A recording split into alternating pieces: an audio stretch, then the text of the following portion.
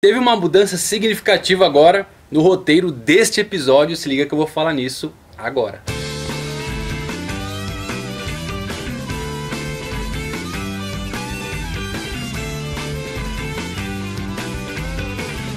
Fala galera, Ivan Dororo com mais um vídeo pra vocês. Uma pequena resenha desse episódio que foi diferente dos anteriores.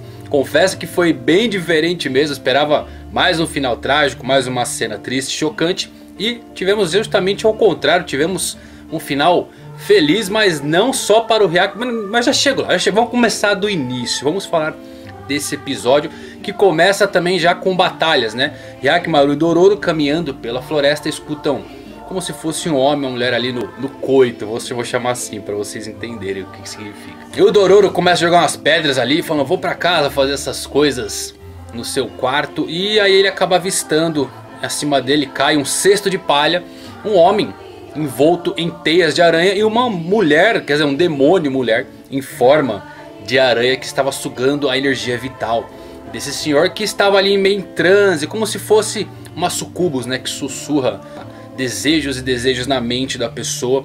E vemos que esse velho está meio que em transe ali. E essa aranha foge, ela foge em direção a um vilarejo, aonde Hyakimaru e Dororo seguem em direção para tentar caçar essa mulher. A mulher aranha está bem fraca, ela não sugou energia vital o suficiente acaba voltando a uma forma humana e desmaiando. Ao qual um samurai acaba encontrando ela e leva ela para sua casa sem saber quais intenções e quem era aquela mulher. O que eu venho achando bem fantástico em Dororo é a capacidade de transformar personagens secundários em personagens extremamente interessantes. Os coadjuvantes são praticamente melhores do que os personagens principais. Tivemos no episódio anterior a Mil e agora temos esse samurai que eu achei fantástico. A analogia que ele faz, por exemplo, quando é, dá comida, está ali doente, ele acaba achando uma barata dentro do pote e ela acha que ele vai matar a barata e ele solta e pergunta por que você soltou essa barata. Ele diz que homens, humanos e, e insetos são praticamente iguais, todos têm a sua vida. E essa analogia faz com que a nossa Mulher Aranha fique impressionada por ele ser um humano diferente, afinal ela é um inseto entre aspas. Então bem legal. E esse personagem eles trabalham em minas, né? Em minas de pedras ali minerando. Como se fosse um sistema de escravidão.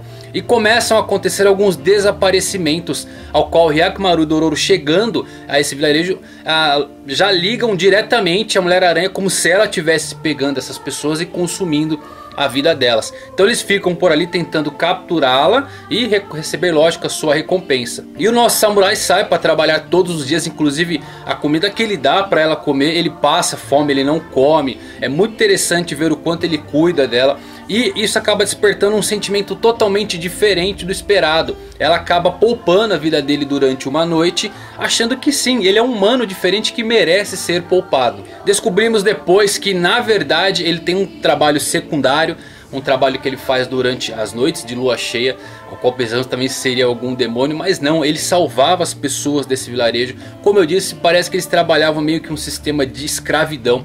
E ele ajudava pessoas a fugirem daquele local. Então ele era o sequestrador. Eu achei magnífico. Porém a mulher aranha começa a ficar fraca por não consumir energia vital. Arroz somente não sustenta ela. E ele acaba falando que ela tem que fugir, ela não tem um passe de entrada para o vilarejo. Ele vai ajudar ela a fugir para achar um médico e assim cuidar de sua saúde. Então os dois partem, porém Hyakumaru e Dororo acabam entrando em seu caminho e mais alguns guardas também que acabam ouvindo o diálogo e descobrem que o samurai, que é o sequestrador, não tinha recompensa nenhuma, era tudo um plano para atrair esse sequestrador e Dororo também já fica meio bravo ali, né? E aí entra todo o diferencial desse episódio, porque Hyakumaru agora com a sua audição consegue discernir o que é moral e o que não é. E ele acaba poupando a vida da Mulher-Aranha porque ele vê que ela gosta do humano. Ela acabou criando uma afeição por ele, ele acaba sendo atingido por uma flecha. Eles têm um pequeno embate, mas mesmo assim é interessante que ele poupa a vida do demônio, deixa ela ir embora com esse humano. Então tivemos um final feliz, mas olha só como é Dororo. Tivemos um final feliz justamente para um demônio. Então o Hyakumaru também deu um sorrisinho ali no final. Mas olha só que diferença, porque todos os episódios tinha algo trágico, ou escutava barulho de choro, ou primeira vez que abria os olhos vinha alguém morrendo nos seus braços. O primeiro final feliz da série foi justamente para um demônio. Que série fantástica, eu achei fenomenal o jeito que foi contado esse episódio. Um episódio lógico mais morno porque você fica meio acostumado a cinco episódios tendo um eclipse a cada episódio. Esse teve uma tonalidade diferente, mas mesmo assim merece o seu destaque justamente por dar um final feliz não a Reakmaru e a Dororo, e sim a um demônio, a Mulher Aranha e aquele homem que ajudou ela. Eu achei esse personagem muito bom, gostei bastante, estou gostando muito do trabalho que vem fazendo com coadjuvantes. E aí eu pergunto para vocês meus amigos, o que, que vocês acharam desse episódio, desse personagem, desse suposto final feliz. Deixem nos comentários também a sua pequena resenha, vamos debater sobre isso.